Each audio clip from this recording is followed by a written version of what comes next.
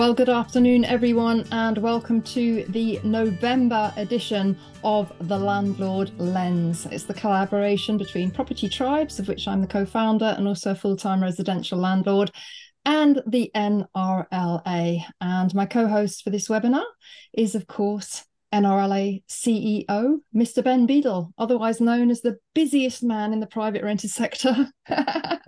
um, how are which, you doing, Ben? Which is why I'm a bit late today. Sorry. Ah, uh, yeah. Well, we apologise to everybody for the the slight technical difficulties, but here we go. Um, ben, um, there's so much to talk about and so much has happened in the last sort of 48 hours as well in our sector that we can touch on before we start looking at, at the kind of trending topics that have been uh, engaging the audience on property tribes. Um, now first of all i just want to roll back a little bit to, to the conference because what an amazing day.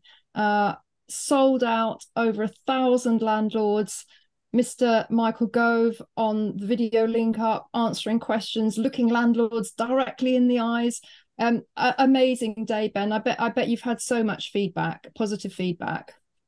Yeah, I, I mean, it, it, far surpassed my expectations. It was a great day. Um, it was excellent to get the issues across to the people that matter. Michael Gove, uh, Clive Betts, chair of the Levelling Up Select Committee, but it was also a great event uh, for uh, our suppliers as well, and, and landlords being able to hear from you know uh, the very best from their respective areas. It was spot on. It was lovely.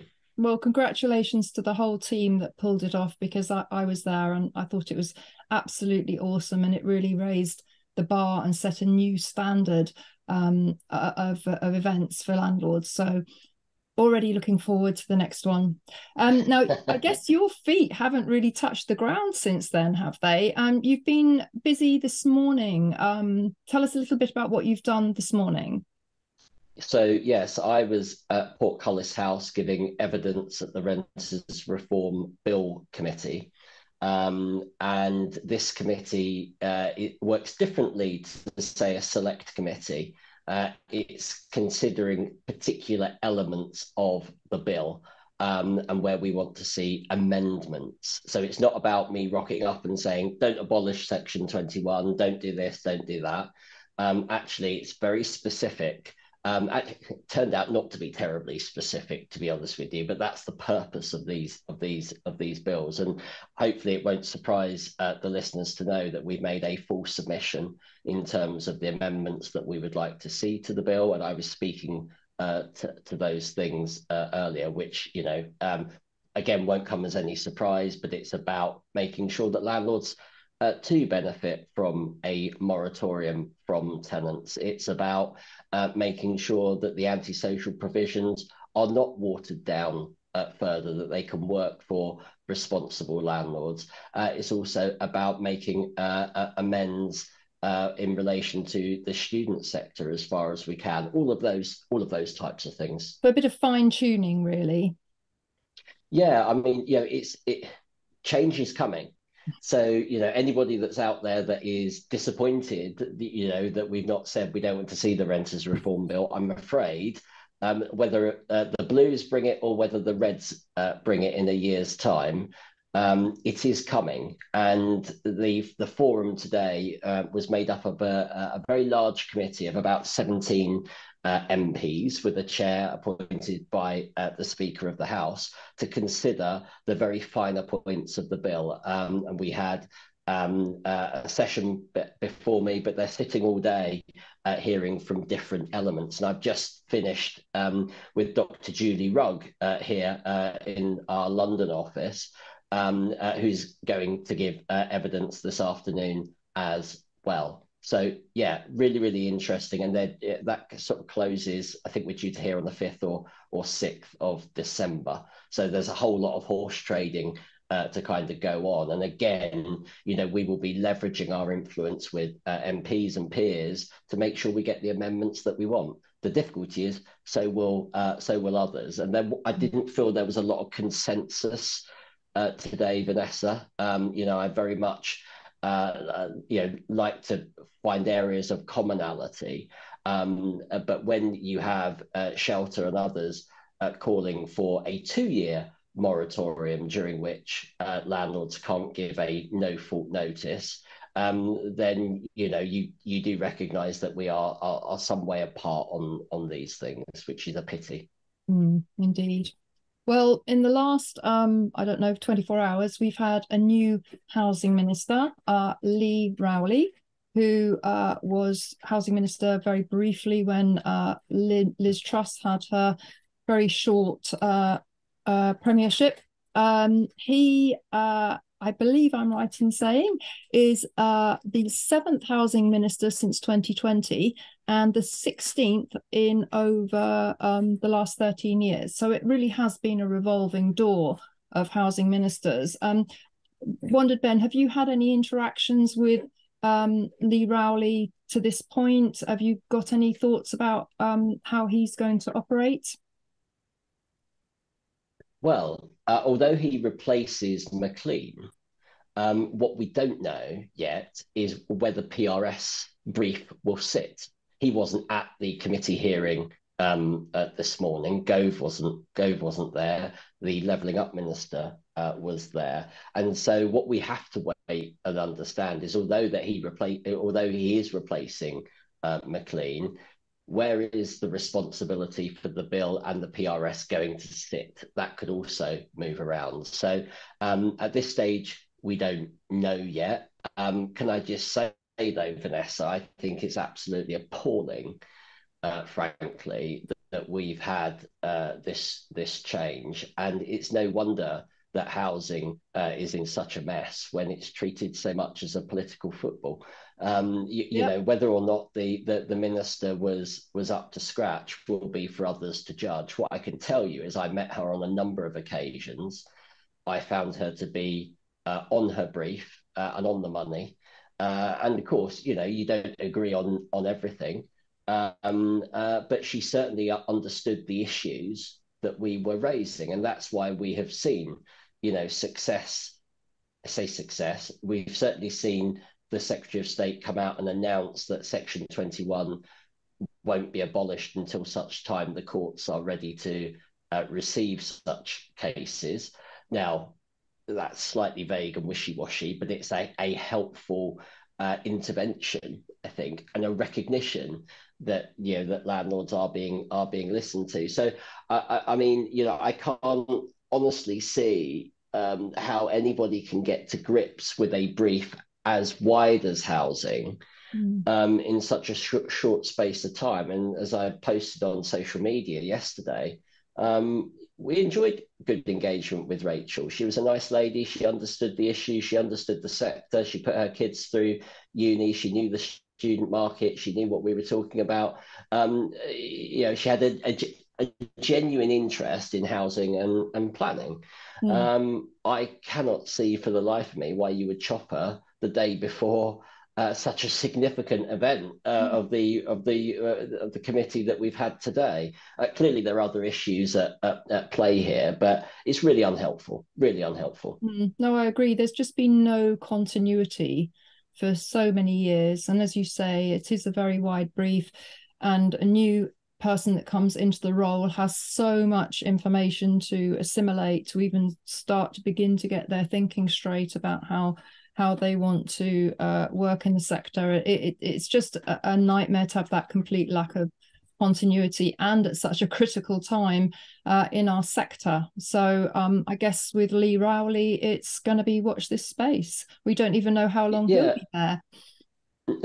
Well, yeah, indeed. If we're going for an election uh, next year, I suspect he's not going to be there terribly uh, long. But he, you know, as you say, he he did have uh, a similar post before, though he wasn't uh, responsible for the PRS brief. Um, so once we once we ascertain exactly where the private rented sector is to sit, we will start making some inroads. I have met him a couple of times. Seems like a nice chap, but um, uh, yeah, we we we'll see what happens. But uh, you know, listeners can um, uh, appreciate hopefully that you know we will be like the proverbial rat up a drain pipe uh, once that is announced so that we can make um, the best impression that we can on behalf of landlords and the sector. Mm. it must be just so frustrating because you invest time in building a rapport and a relationship with with each minister and then they're gone and you have to start from scratch. So i'm sure it must be very frustrating to have to do that. Um, we're just going to jump back to uh, your work this morning um, at the committee. Alex uh, says, Ben, you seem to say this morning you were happy with the proposals, which seem to require a high level of evidence if a judge has to decide. Uh, Alex wondered if you could elaborate on that. Uh, I, am happy with what has been set out uh, in terms of the antisocial behaviour provisions. And, and I should say that um, you know Gove and the Prime Minister have accepted a number of points uh, when it comes to antisocial behaviour. The bit that we like um, is that the test has been widened. So what's written at the moment um, uh, is not what we're going to end, end up with. We're expecting some amendments actually later today. Um, I should have told you, Vanessa, before coming on, but there there will be a le- yeah, I'm probably giving too much away now, but there are some amendments coming uh, later today slash tomorrow that deal with this. And uh, my my point here is, uh, and you know, we're getting a lot of pushback when it comes to antisocial behaviour. If you watch the session with Shelter, you know, uh, and um, Citizens Advice, you know, they were very concerned about that wording. Well, I'm, uh, you know, we have to have a wider um, uh, wording threshold, call it what you will, that's easier to prove antisocial behaviour and gives judges, you know, the the latitude to make that sort of decision. Is it perfect? Is it going to be as easy as Section 21? I'm afraid it's not going to be. But I made the, the, the you know the point earlier that we have to be in the position of where we are on the side of the victims of antisocial behaviour and not left with the perpetrators in the property. Um, whether or not this will work as intended, I cannot be 100% sure. Um, but with the amendment that is coming, um, it's it's certainly better than we could have hoped for. The challenge for us is to make sure that it doesn't get watered down any further, and that that test becomes impossible to prove. That's what I want to uh, uh, avoid. Okay, well, thank you for that. Well, let's move on now to the first of our trending topics. And if you're new to this uh, webinar and the format of it, this is where Ben and I uh, briefly discuss the topics that have been trending on property tribes. Um, it's very similar to how Twitter comes up with trending topics. We have a little algorithm that sorts everything in the background and creates an updated trending list about every three hours or so. And it's a very good barometer of, of what's on landlords' minds. Um, and when Ben and I first came up with the format of this webinar, we thought that it would be a really good way to make uh, what we're talking about very current and relevant because it's of the moment. Uh, and Ben, um, I'm afraid that one of the issues uh, is the uh, furore that's been going on in the tax planning sector over um, the last uh, few weeks.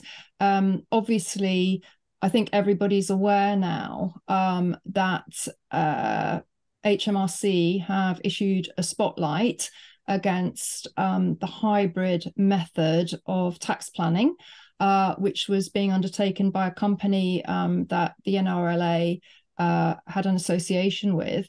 Um, and Ben, I think with all these tax planning schemes, of, of which there are several, they're so complex it's very hard for landlords to know where they stand and our attitude at property tribes was to allow discussion about them, to tease out the issues mm. about them.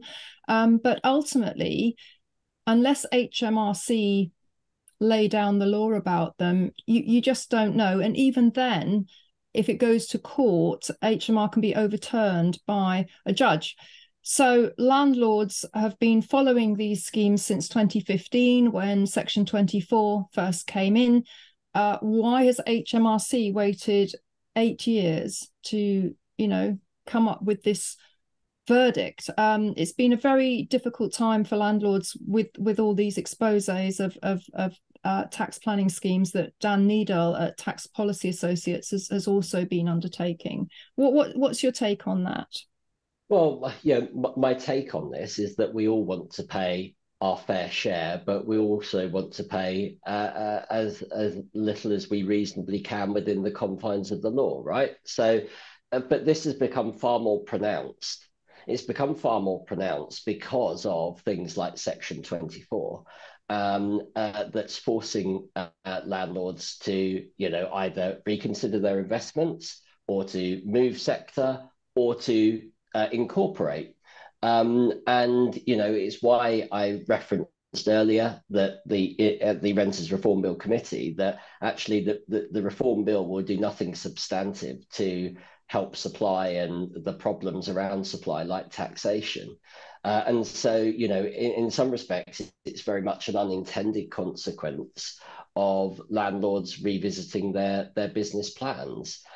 Uh, and ultimately, you know, much like uh, how um, you know laws get tested about whether you know notice has been served correctly or not, it's the same, uh, exactly the same in this type of scenario as well. And I think that you know everybody uh, has done their their due diligence here, but clearly, um, uh, you know, HMRC have have taken a slightly different different tact.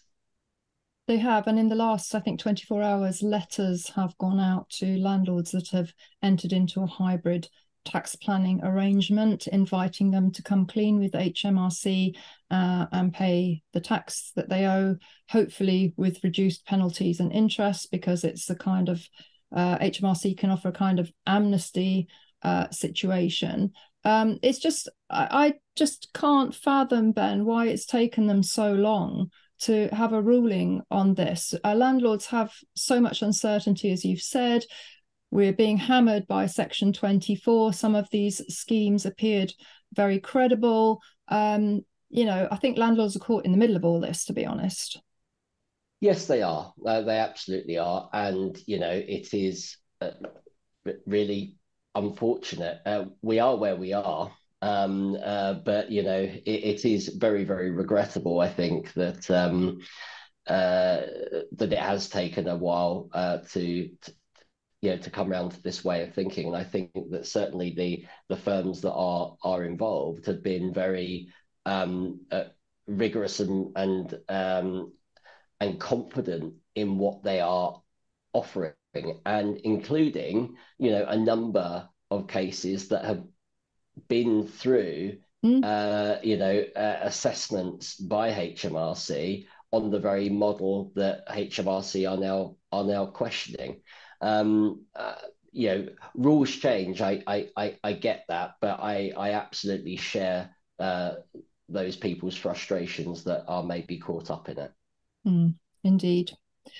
Let's move on to our second topic then. Um, and this was uh, a sort of mini poll by one of our members. Uh, and it was asking, Will you be a landlord in five years' time?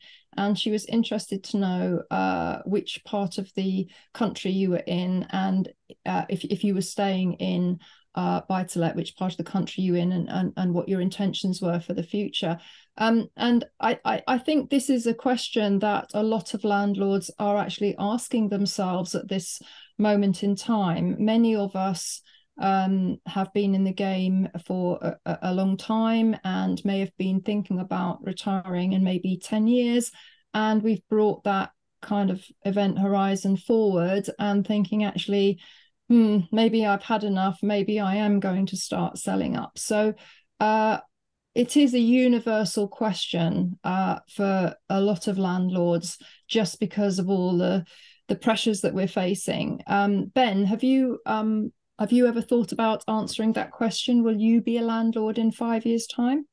Mm, I will be. Um, whether I'll have the same number of properties, I don't know.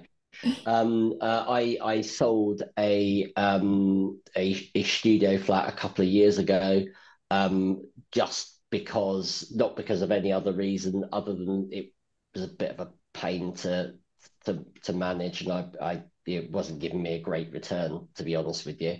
So I I, I got shot of it. Um, but that was a decision that I took like everybody else would would take. It was well before you know interest rates um, uh, uh, went up so significantly but I you know I've got I, I mean I've got one eye on the student changes to be honest with you and how that will affect. As you know, I, I've got three or four properties in the uh, student market in West London, um, and you know the the changes that are coming down the track without amendment will cause it to uh, not work. Uh, and I've been very clear about the impact it will have on the student sector. But I've also got other, you know, uh, properties that are let out to to different cohorts of of people, um, and, and I'm not too worried uh, about the uh, the wider changes. What I am worried about is tax and mortgages. I've got two that are coming off of fixed terms. One at the end of this month, one in in February, um, and you know uh, it's it's it's making it stack up, particularly against the backdrop of of taxation. I'm I'm not an incorporated uh, landlord, so I suffer uh, uh, like everybody else at the hands of of Section 24, and so you know I will make my assessment like everybody else will in terms of is it a going concern um, and I think there are a lot of people that are looking at their their investments and and weighing it up. And uh, you know, it, it, depends what you're there for as well, though, Vanessa, doesn't it? You know, mm. if you if you're looking at capital appreciation, um, well, you know, you may not be too bothered about it. But actually, if you're if you're looking at the the sort of monthly return and uh, and, and weighing up a mortgage, you might you might think differently. Um, that said, um, you know, I, I still believe that that property is a good investment, and I get that you know there's people that are browbeaten out there. Uh, if you've been in the property sector for 30 years, I can well see you looking at these changes and thinking, can't hack it. Um, and yeah, that's your that's your that's your choice. Um, uh, for me, it's a simple question of economics. I'm not going to invest in something that I don't turn a modicum of profit on. And as I've said on this webinar before, you know, that's not an offensive word. You know, we have to be really realistic about why people invest in housing. Um, yes, there's some accidental landlords out there. I get that. But the vast majority of people do it for their retirement, for their pension, for their mm. children. Um, and they still have very much a role in this sector. Uh, whether the Blues or the Reds uh, like landlords is irrelevant. They need landlords. And so, you know, even uh, with the opposition, and we were uh, uh, running a fringe event uh, with Labour, you know, they are begrudgingly accepting that they do need landlords. Um, and, you know, and unless they put their money in their uh, hands in their pockets and, and, and come up with the goods around social housing and, and investment, we're still be in exactly the same position. And arguably, you could you could argue that you know rents are at a ten year high. Um, actually, maybe yeah, maybe the returns are getting better for some people. Mm, well, mortgage rates are at last, thank, thankfully, starting to come down. We're seeing Indeed. some five percent uh, buy to let mortgages now, and uh, rents continue to rise because of the supply demand imbalance. And uh, you know, we've had recent reports in the last two or three days that rents are set to continue to rise in, into 2024. So um, I'm very much minded the same as as you, Ben. And to be honest, I, I, I'm taking literally each day as it comes now. Um, I've managed to actually have a couple of rent increases um, this month, uh, which, which, does help. Um, but you know, it's that uncertainty, uh, certainly for a change of government, uh, is, is, very concerning. Um, and sometimes, if you're not sure, it's best to just sit sit quietly and see what develops. Um, but I think having the kind of conversations that we've had on property tribes around this issue uh, it's very interesting to hear other people's point of view um, and how they're thinking, and it may help you develop your own way forwards that that works for you. So I think this is another reason why Ben and I are very keen for people to interact together as landlords and get feedback and talk to each other because it can really help you um, navigate your way through our sector, which is very challenging uh, for all of us at the moment.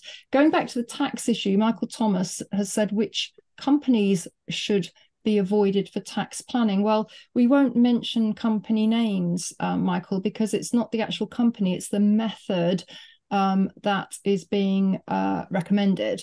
And the method that we are talking about, that HMRC has come out with what's called a spotlight on um, is is the hybrid method of tax planning, and there's lots about it on Property Tribes. Just put hybrid into the search engine, and you'll be able to read all the discussions. Um, so yeah, I think it's um, we're coming to the end of the year now as well. People are kind of winding down for Christmas.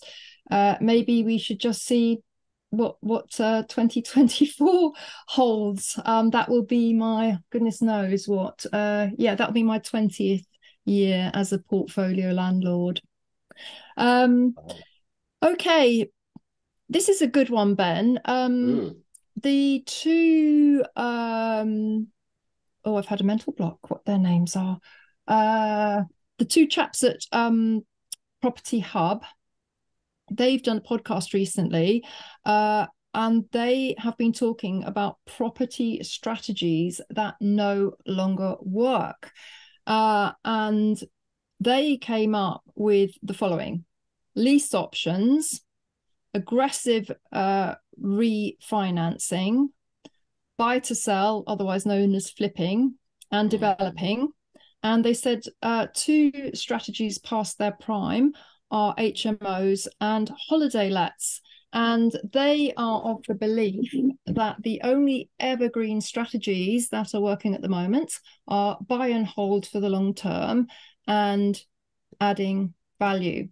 Um, just wondered what you you thought of of their list, and I just wanted to actually say I, I would add rent to rent to non-viable strategies um, mm. not because of how it works but the fact is that tenant demand is so incredibly strong why do you need to go to a subletting um, tenant. You can have your own tenants and you'll have a very wide choice of tenants. In fact, I'm just putting another property in uh, Highbury in Islington on the market for rent. And I've been told by the agent it should let within 48 hours because there's such massive demand.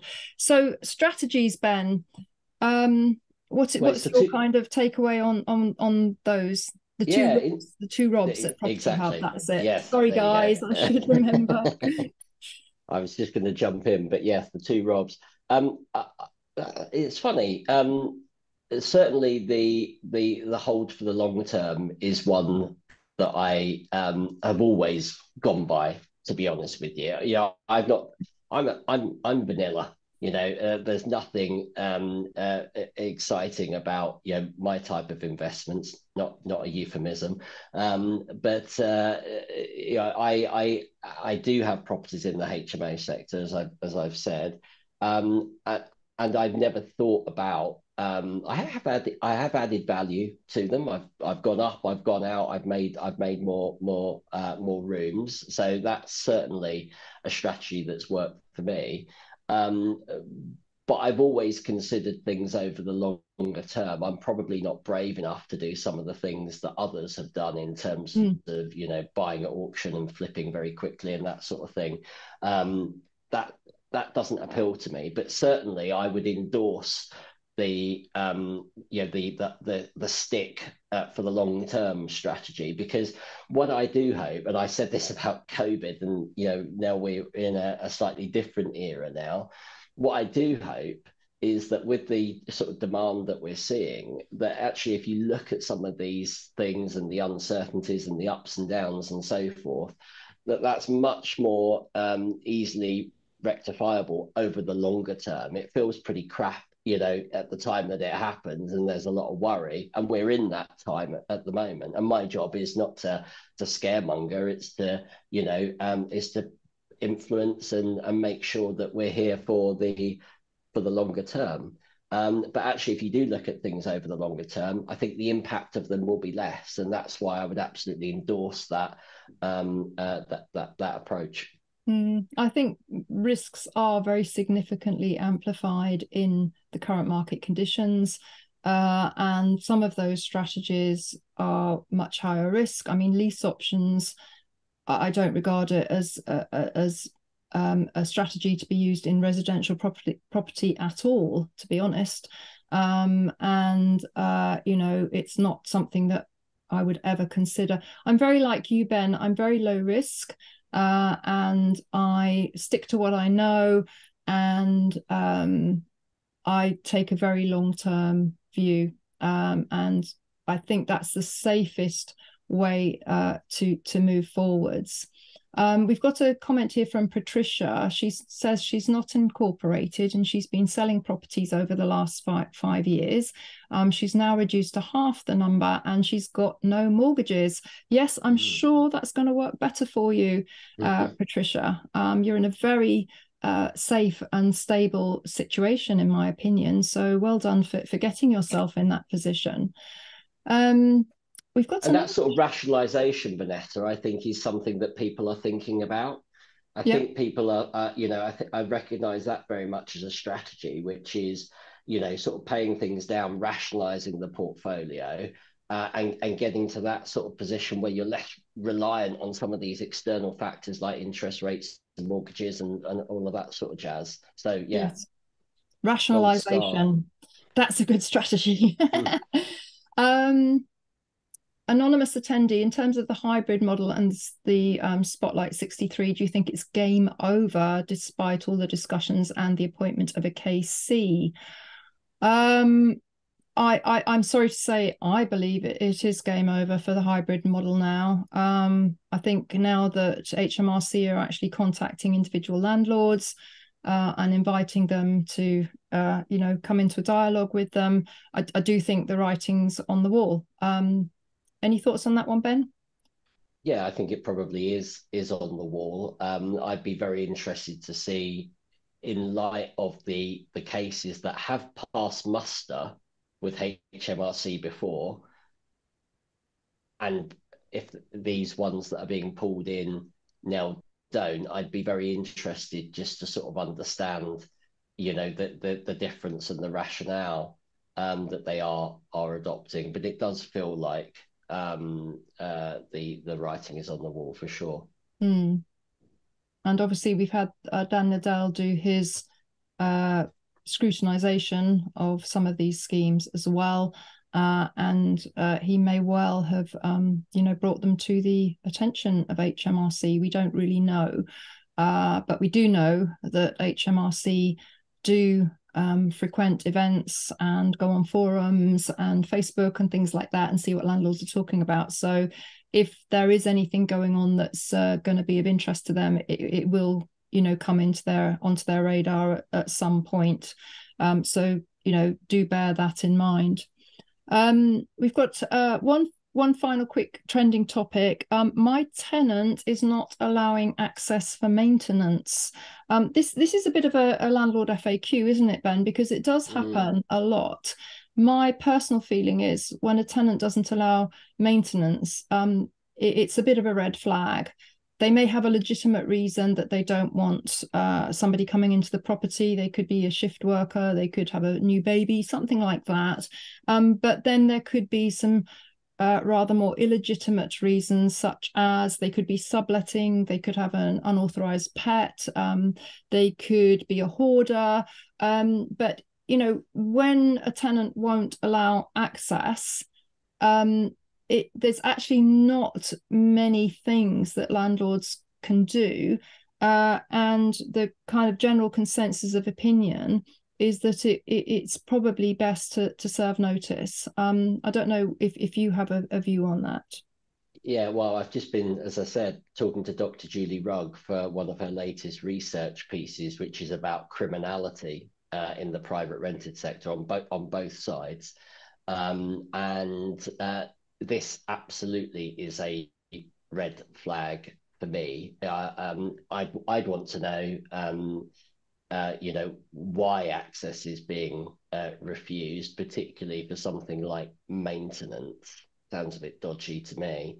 Um, uh, and perhaps before you serve notice, trying to trying to get to the bottom of that. Of course, and, and, yeah. And, and making it, but making it clear that you know, if you can't get in to be able to do whatever it is that that's needed, um, you know, you're going to have no option but to give notice, and it's a route that you don't want to go down. But I need to get in, and I, I want to accompany whoever's going in actually because I'd want to I want to satisfy myself that there wasn't anything kind of, uh, you know, it's not turned into a knocking shop or a, a drugs den, uh, which is uh, often, well, not often, but certainly one of the things talking to Julie about is is something that people pr- prevent others from going in because of what's inside. So I would definitely uh, ask a few more questions um, and make it clear that you mean business um, in terms of uh, notice being the the ultimate sanction if you can't uh, resolve it informally. Mm. Agreed. Okay, well, those are our sort of um, main trending topics of this Landlord Lens webinar. Um, we've got about another five minutes, so I'd like to invite everybody, if they've got any questions, uh, to pop them into the uh, Q and A, um, and Ben and I can just answer a couple now. Um, let's see. There's one here, Vanessa, about um, asking us why we think landlords are so poorly uh, thought of uh, which I thought was uh, an interesting one. Um, well, do you know what? I, I don't know if people saw um, uh, Michael Gove at the dispatch box uh, recently, but he was at pains to recognise um, that the vast majority of landlords uh, do an excellent job. Uh, those were pretty much his words. Um, it's a great pity he hasn't been able to say those things earlier uh, uh, than than than more recently. But um, there we go. Um, I, I do think a lot of people have a bad story to tell about their experience in the private rented sector, and this, folks, is one of the you know the difficulties when it comes to reform. Uh, that you know uh, we look at we look through uh, the issues um, in a particular way, and from our perspective, we see really good landlords that are looking after their tenants, that are doing the right thing, that are treating people fairly, and all of that sort of stuff, and keeping up with the law. But I have to acknowledge there is a part of our sector that brings it into disrepute. And that's, you know, that's Shelter and, and others that are highlighting that sort of sharp practice that that frankly does us no favors, to be honest with you. And that's why, you know, we do call for things like uh, robust enforcement because actually flushing out bad landlords from the sector is helpful for everybody, but it cannot be done to the detriment of those that are doing a really, really good job. And that message is getting through because I see, you know, things like the property portal, Vanessa, that's going to be brought in as a really positive way of landlords being able to show that they are compliant um, a fit and proper person and, and all of that sort of stuff. But at the same time, what it will allow um, uh, local authorities to do is to really target their enforcement uh, away from the good guys and girls uh, and, and, more readily uh, using the data sources that are there to identify the bad ones. Mm. Um, so I, I, think, you know, as a as a, a group, I don't think we've helped ourselves um, uh, uh, so much. Um, but now is the time to separate those two groups and pull away and make the point that there are two groups of, of landlords out there, and we're the good guys, and we can, you know, we can we can help uh, government achieve its ambitions and and uh, provide decent and safe accommodation. Mm. Well, I, I would like to sort of play devil's advocate a little bit because there was a story in the paper, uh, I think it was yesterday or the day before, it was a single mum with three children, two grandchildren, and three chihuahuas living in a house that was damp and moldy. And the pictures of the property were very, very concerning, the level of damp and mold in there. Um, and of course, you know, the media is looking for clicks, they're looking for attention, and a story saying, I'm living in a lovely, comfortable, warm home provided by a responsible landlord isn't going to be very interesting. So they're always going to go for the most extreme case. And this was certainly an extreme case. But the other side of the story was that the landlord said that the tenant had been refusing access to deal with the damp and mold. So I think there's always two sides to every story. And unfortunately, the media will ju- often just focus on the tenant side of the story and not actually uh, bring in um, various different uh, processes that may have gone on where the landlord was was trying to be responsible. So um, yeah, I think the media are looking for clicks. They they want the most extreme stories they can find. Um, they get a lot of people thumping their chests quite rightly if um, we hear these terrible stories of, damp and mold and you know retaliatory evictions which are actually illegal and shouldn't be allowed to happen but you know it still does. Um, and unfortunately it does it does paint us in a bad light.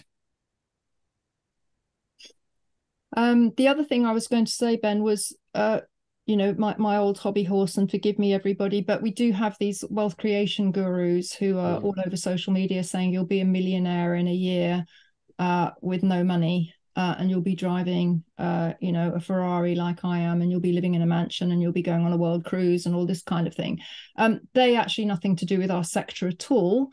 Um, they're what i call the wealth creation industry. Unfortunately people outside of our sector don't realize and think they're just wealthy landlords who are taking advantage of, tenants. Um, and they give us a very bad uh, reputation with the media. And quite a few media have picked up on some of these wealth creation gurus and talked about them as if they're they're landlords and and it's very unfortunate that they can't see the distinction anything to add um, yeah, I, I, I, mean, I agree with that, Vanessa, and I think that um, yeah, you know, they're, they're they're they're not landlords, and it's the same with with other characterizations uh, of of individuals. You know, um, uh, talking to to to Julie uh, earlier, I was making the point that you know she was talking about criminality um, and and criminal landlords. At the end of the day, just criminals, you know, um, uh, who just so happen to be, uh, you know, using property and or renters as a means to execute their criminality. It's as, mm. it's as simple as that. We just have to get the right categorization, I think. Yes, I think we do. Um, Leslie Hall says, why can't Shelter understand that rogue landlords don't comply with existing legislation and they won't comply with new legislation? She says it's so frustrating because it's the good landlords that will leave and will be left with a higher proportion of, of rogue or criminal landlords. Well, I mean, uh, simply put, it's, it's, it's not in their interest to. Um, and, you know, you take the, the, the hearing uh, this morning you, know, we we've we're in the middle of a housing crisis. We have a desperate shortage of properties, and actually, what does shelter want? Well, what they want is um, the time frame for reletting a property. So, if you do give somebody notice to sell or to for your family to move back in, if you then subsequently don't do it, um, they want that increased from a three month window where you mustn't do it to a year. And you know, and I pointed this out at the select committee earlier in the year. Is this right that a homelessness charity is saying that in as well as there being a 30 gram fine by the way for doing it a very significant fine that tenants will be better off by having that property empty for a year than having a place to live. I mean, madness. Mm. Madness. Indeed. Well, we've got one final question. Uh, John Beaumont, he says, Hi, Vanessa. We met briefly at the NRLA conference. We did indeed. Hello, John. Uh, he raised a point with me about pets in HMOs. Um, and I, I, thought this was such an interesting question. If we have a, a default position for pets, what's going to happen with HMOs because you could have a kitten in one room and then you could have a Rottweiler dog in the room next door. What is going to happen, Ben? Do you think in terms of pet legislation for for um, HMOs? No, I think it would be pragmatic. I don't think it would differentiate between HMOs, but the the briefing. Uh, I don't think pet, pets didn't come up specifically at the hearing this morning, um, John. But in my written submission, I uh, and I'm looking at it now, I raised the issues of not specifically in HMOs, but where you've got more than one interest. So if you've got, you know, two or three tenants, whose rights prevail? Um, uh, you know, so if you've got somebody that wants a pet and, and somebody that doesn't want a pet, I normally adopt the approach that uh, as long as everybody's happy uh, in in the HMO, and I'm granting permission for one pet, one specific pet, not a blanket menagerie or zoo of uh, of creatures. Uh, and again, I've asked for that to be tightened up in the wording of the bill too. Whose rights does prevail? I, I honestly, I, I, I still fail to get too excited about this because I'm very much of the view that landlords know what's best for their properties and will take sensible and practical steps um, uh, to manage this. And that's why the guidance that needs to accompany this um, needs to spell this out, uh, and that's what I've I've said to the committee mm. um, mm. in written uh, evidence uh, ahead of my appearance mm. this morning. So sit tight, we've got this. Watch this space. Mm. Well, I think you've just highlighted there that the devil is so in the detail, and a lot of these headlines, once you start to dig down and get into the nuances of them, uh, you realize that they're just totally impractical um, in certain niche areas, um, as with the, as with the pets um, issue. Uh, and it's so good that that you're there, Ben, digging down on this detail and and pointing out where there there are what are actually flaws in potential new uh, legislation. We'll have one more quick question. I don't know if you know the answer to this. It's a pet question. Tracy Sidaway. She has a tenant that has an XL bully dog does she need oh. to get proof from them that they've registered the dog with the new dangerous dogs exemption scheme? Uh, it's a very good question. Um, I don't know what the official position, I'll be honest, uh, is. But as a responsible landlord, it, it, given that you know that that dog is in the property and you know that the law, uh, I don't know whether it has changed or is going to be legislated for. I think you'd want to take some reasonable steps to make sure that your renters are complying um, uh, with it. I don't think I think that would be a good thing to do, regardless. Well, that's the sort of question that's ideal for um, the NRLA landlord helpline, uh, which I call phone. I call it um, phone a friend for landlords, um, and they're open I think from nine to five, and also on Saturday morning. Um, and if you've got any questions that you need uh, an answer to, um, that's one very quick and easy way to jump on the phone and speak to one of the the reps uh, on the end of the line. And ben you know i've been up to uh, your head offices in sale and, and heard these guys in action and there really isn't a question out there that I, I, I that they've never had to answer they're just absolute mines of information yeah. aren't they well, it's certainly an area that we have invested in, uh, Vanessa, significantly. I mean, you know, without being too geeky about it, we, we're getting somewhere between two and two and three thousand calls a week. You know, it's a significant part of what we offer, uh, and you know, for the eighty-five quid uh, membership, I'd say it was pretty good. I've got over I think I've got 33 call handlers, um, uh, three team leaders, a, it's a big area for us, and it's about making sure that our members uh, are supported uh, and know that they're not going to wait uh, forever in the day for someone to pick up the phone. They're going to speak to somebody that knows, and if they don't know there and then, we've got a specialist team uh, in the backgrounds uh, background that that supports them as well. So for those that aren't a member, I mean, seriously, get involved, please join up. Um, uh, and yeah, I hope if you are a member, you're enjoying membership. Fantastic. Well, Ben, I'm I'm not sure. Are we going to do another landlord lens this year? I think we were vaguely talking about doing one in in early December to kind of review the year. So, yeah, so it's only in two weeks' time. Early know, December. That's you so this? scary. Oh God, dear oh dear, I can't believe it. Uh, we should try and fit something in before Christmas and wear a, a Christmas hat, I think, uh, and, oh, and like have a little bit of a roundup. Um, and I've certainly got other other meetings to sort of report back on. The reason I was late today is I was meeting with the Master of the Rolls office about court reform and digitalisation, and trying to have a bit of a pincer movement on uh, how we can uh, influence the agenda from the judicial uh, perspective as well. But there's lots of things that we're doing in the run up um, uh, to Christmas, and you know we'll come back in the new year uh, reinvigorated and ready to fight the good fight. So yeah, let's get something in in the diary. Awesome. Well, thank you to everybody who has joined us today on the November edition of the Landlord Lens. Thank you for all your questions and your interaction. We really do appreciate it. Um, and Ben and I will hopefully be back uh, in December with a kind of roundup of the year and what landlords can look forward to in 2024. I can't believe how quickly it's coming around. Um, but for today, um, it's goodbye from myself and goodbye from Ben. And thank you very much for being with us on the this afternoon. And we'll see you next time. Take care, folks.